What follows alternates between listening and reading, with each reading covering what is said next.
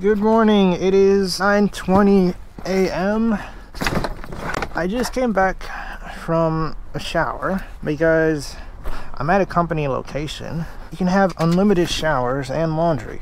And today is going to be the very last delivery that I make with Variant. I'm gonna still be in trucking, but it's gonna be with a different company. But first, I have to start the pre-trip right now. And then I can get into talking about why I'm leaving and all that. I think about this will be my very last pre-trip with old old Gerald. Kind of sad. And the new company I'm going with, they don't have uh, they don't have Kenworths, but I've heard good things about them that way outweigh the fact that there won't be any Kenworths there. Uh, that's good. That's good. That's good. That's good. And that's good. That's good. Oh, and the good thing, this is literally a brand new trip. No one's probably used this trailer. It was manufactured in October of 2022. It's December 1st right now. And then I had to go through a whole look at these tires. The tread on these tires, they're amazing. Everything and everything. Look, shiny, new, even the airlines, everything. They have disc brakes, everything. Gonna have no problems. Uh,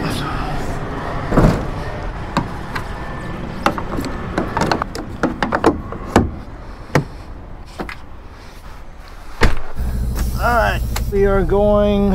I'm in Georgia right now, Ellenwood, Georgia, at the terminal, and we need to make our way to. It's like Huntsville, Alabama. Well, they gave me a delivery that picks up at midnight tonight. That means like I'll have to like drive at like 11 p.m. when normally I don't start driving at like 3 a.m. I mean, it is it is what it is, right? It's my last delivery. They want to get me home. So this is probably the best they could do. What's the easiest route to get out of here? And we're out of here. You get on the highway. And then I can explain why I'm leaving. Now, there's an opening. Where's an oh after this black car. Now this black car. Yeah. Go! Go! Go! 52. There we go. In two and three quarter miles, keep left to I-285 west. Alright. So why I'm leaving Variant. It's just pay. That's it.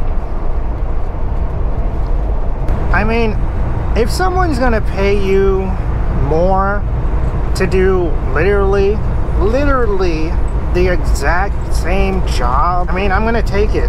And this other company, they're rumored to treat their drivers very, very well. Now, I don't know if that's true because you know what trucking is. It's a lot of talk, talk, talk just to get you to sign on with them and join their company. So I need to test them out. And that's why I'm not saying, I'm not saying who I'm switching to. Alright guys, I gotta get over. I'm gonna do the same thing I did with Variant. Or like um, I'm gonna go undercover for like 30 days and not reveal who I am. Just go like through a, a testing out phase, you know, because I need to see what it's what it's quarters of a really like Keep left to I-285 west. and how everything works and whether or not it's a good fit for me.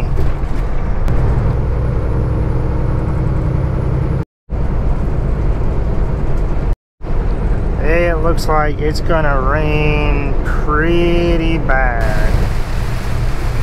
Okay, Garmin. Truck stop along my route. Yeah, I, I'm not driving in this. Forget this. Delivery will be late. I'll, I'll be late to pick up the delivery for sure. I'm not getting into an accident. Know, the weather has lightened up. I'll see if I can make it even farther.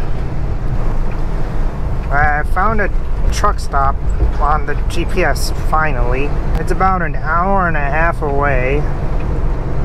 And that should get me like within half an hour of the place I need to pick up today at midnight.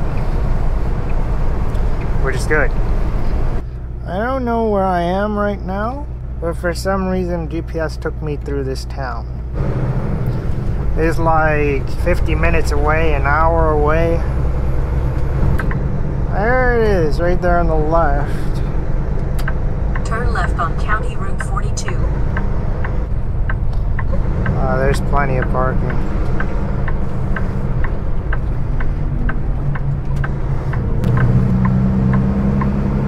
Turn Yeah. left on US 72. It's a really small truck stop because there wasn't a there wasn't like a big chain truck stop that was close. Oh, my gosh. This is a massive freaking drop off. Oh my it's, it's like half a foot.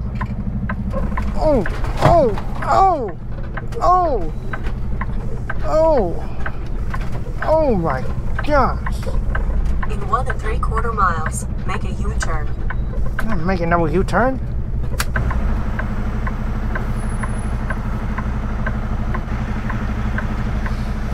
I'd say right there.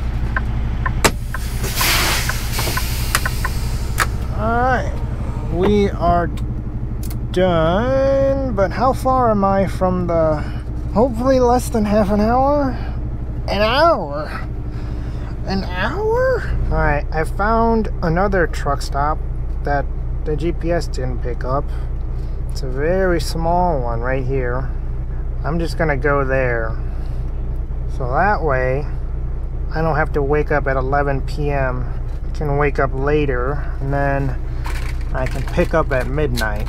And then, honestly, probably when I do pick this up, I'm going straight to sleep because I'm not, this isn't my sleep schedule. And Variant knows that because they always book my loads at 3 a.m. So that means um, I'll be on time to pick up, but I'll be late to deliver. It's a, a drop-in hook load, or like I'll just like drop the trailer in their yard. These type of deliveries, uh, the people I deliver to usually really don't care. As long as I deliver the same day, it doesn't matter because they're not gonna start unloading the trailer until like maybe like a day or two later you know so it doesn't matter what time I really get there as long as it's the same day I genuinely don't understand what happened it's telling me to drive back the way I came 47 miles but at the same time I checked Google Maps it says, yeah, it is going the right way. I am going to the truck stop, and I am going to the place that I'm delivering to. So, I put the right address in. How was I driving for like an hour going the wrong way? I don't understand. Uh, yeah, yeah. I don't know.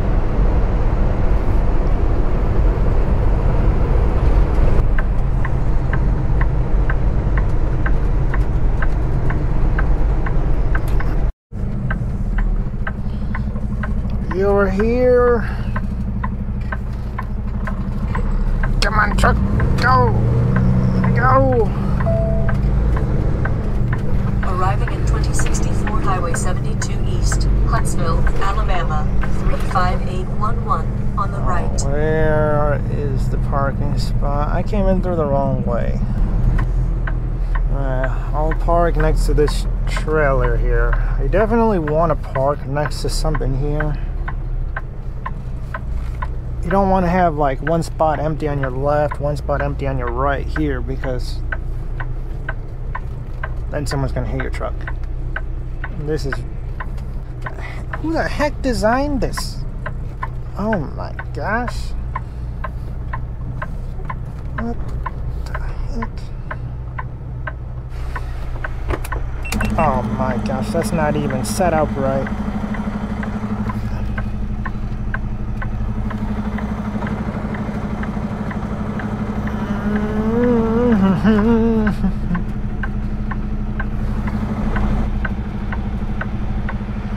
Tough parking spot.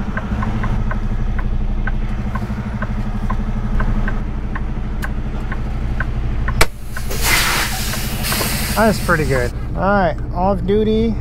Gosh, I'm so pissed off. They they booked the load. They know I drive at 3 a.m. I have to leave at like probably 11:50, and then once they're done loading the trailer, I'm most likely just gonna just gonna find a place to park and go to sleep. And then that's gonna make the del- delivery late. But who cares? Who cares, right? At this point, you gotta set boundaries. It's not unreasonable to ask from a job that you work relatively the same hours. Alright, well, I'm gonna go cook and do all that. And then I have to get up later. Good morning. It is midnight. I'm here at the place to pick up my delivery. I didn't film the way here because you can't see anything at night on GoPro. Like it, it'll just be a blurry screen, so there was there was no point. He told me he told me to back in the door 22 and then just drop my trailer like this and then unhook from the trailer and then uh, park park back there and it, that they were gonna call me whenever it's done yeah parking in this spot right here oh dude this is easy parking all I gotta do is go here and there all right literally all I have to do is not turn the wheel and I'll make it into the spot. That's it. Now let's start turning right to go left. A little bit, a little bit more, a little bit, a little. Alright, we got it.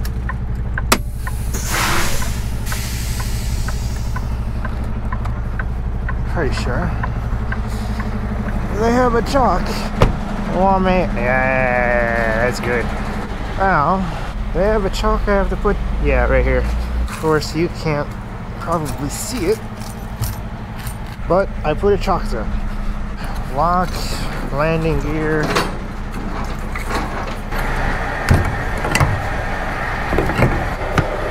Ah, lock, landing gear, locking jaws, airlines. We're good to go. We're good to go. Uh, park over there, and then I'm gonna go to sleep because this is way too dang early. It's way too. It's midnight. This is too early. It's too early to do anything. It's insane. No, I can't block that. I will be good. If someone wants to park next to me, they should. They should have enough space. Don't know. I can't move over anymore. That wheelchair thing lift is in the way, so oh, I can't turn that off. Alright. I'm going to sleep. Alright, I am out of here. So I fell asleep while they were loading the trailer. They were actually done at like 1:49 a.m. That's when they called me. But I didn't wake up until like 5 yeah, like 5:40 a.m. I was tired because this isn't my sleep schedule. But now I'm on my way to uh, Tennessee to stop at a truck stop uh, because I need fuel. And then from there, Tennessee, I'll go all the way to Ohio.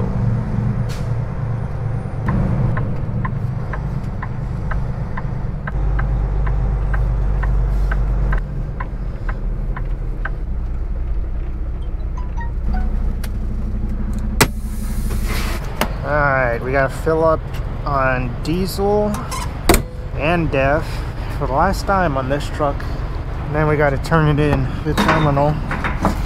Um, for the delivery, I'm it's gonna be late. I think it was like scheduled for me to be there at like uh, 11:45 p.m.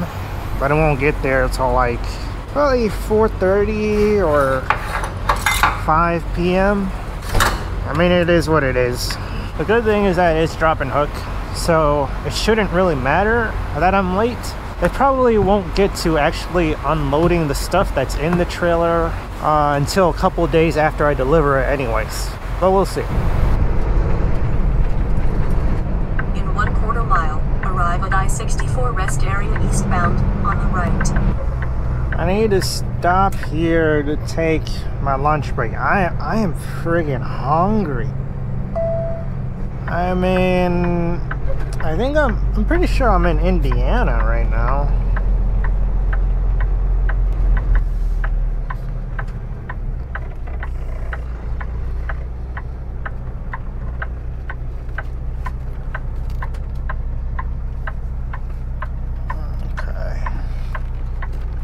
We go. Let's go get some food. I think I have a sandwich. I don't want to cook anything because it's going to take. Oh, I should set my timer. It's going to take longer than 30 minutes to cook. Does it really matter at this point if I'm going to be this late? I'll get there at like 5. It's supposed to be there at 11. I think at this point, it doesn't matter if I cook. I think we're past that. Oh my gosh. I have lamb. Dude, I don't even have to eat this. Oh, this is awesome. Lamb and rice with the yum yum sauce. Oh, but then this, and I'm gonna have avocado.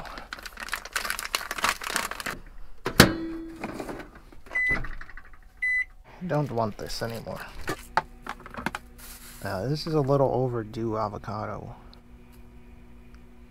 Oh, that's still good. Oh, I'll eat like half the avocado. Why is it still not aged? Yes, it smells delicious. I think I really need to pre-cook the meals. So we're already like, it's already an unhealthy job as it is. I'm making it more unhealthy. Well, like I eat pretty healthy, but like during lunch, I don't. And there's the avocado. It tastes good.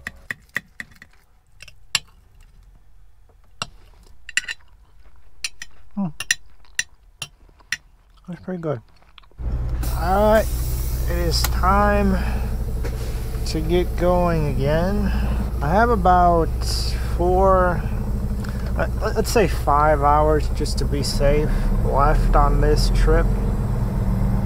I should get there around like five I don't know, now it says 6 o'clock.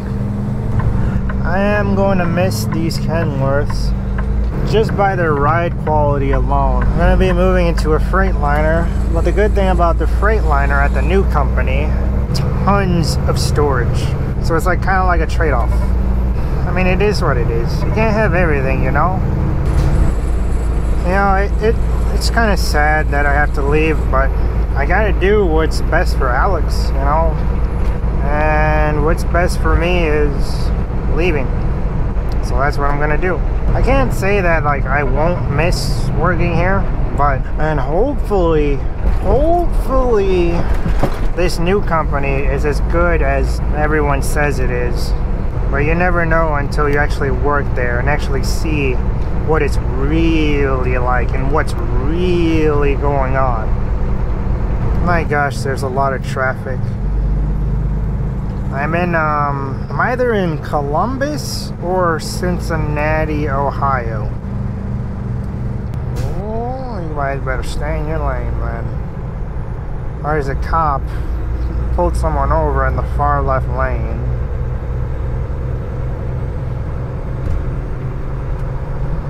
How far are you, um? Oh no, he didn't even pull anyone over. Well, there's two cops.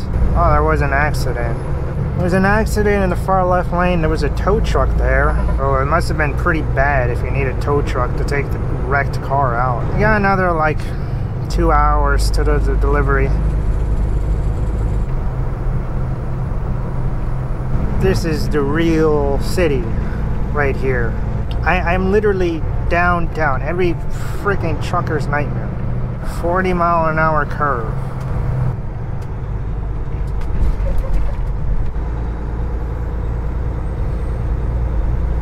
There you go. It says stay here for 100 miles.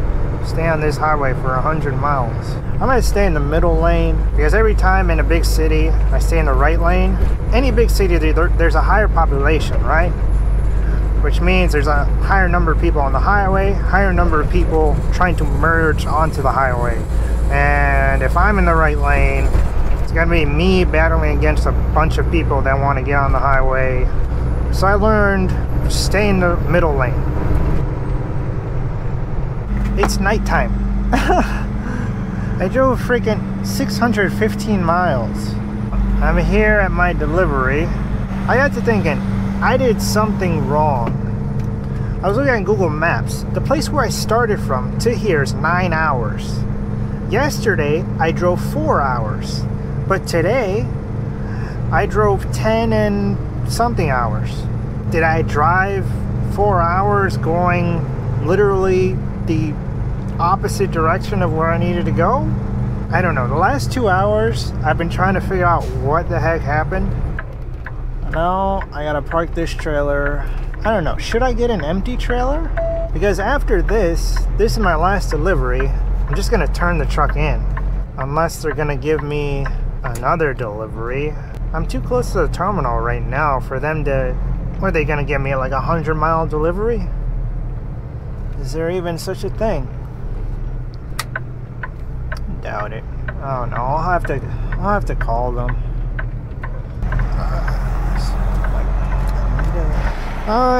It's absolutely freezing. My god, it's so cold. But honestly, that's what I'm thinking I'm gonna do because in order to unseat my truck, return my truck, I have to get all my stuff out of the truck. And then uh, what I'm thinking is why don't I just bobtail home without a trailer? That way I can actually park in front of my house and the truck will actually fit. And then when I'm in front of my house, I just take my stuff out, put it in my house, and then drive the truck to the terminal and then just drop it off there. I think that's what I'm gonna do. Alright, now I need to find a place to park. Okay, Garmin. Which result would you like? So logs. Let's see. Let's double check. Let's let let's actually plan ahead and see where I'm going to park if I get there, if this truck stop is actually big enough. Uh, it's a pretty decent size. Alright, they have bobtail parking right there. But if that's full, they have more bobtail park. They have a lot of bobtail parking. They have even more bobtail parking. Oh my gosh. How freaking lucky am I? They have one, two, three. They gotta have a parking spot for me. Oh man. My luck, man. That's amazing. I'm out of here. I just got the all clear from a fleet manager, a variant, yes, I can go bobtail home, uh, get all my stuff out of my truck, and then return it, return the truck old Gerald to the terminal. This is the last time you'll see me in this truck. It's crazy. It's crazy, right? But I'm not really all sad. I'm more. Uh, I'm kind of excited to go with this new company, honestly. Just excited to just start something new and that I know will be well I don't know it'll be better but from what I've heard it is better and it'll push me toward the person that I want to be in life to help me get there faster so this is it Bye bye.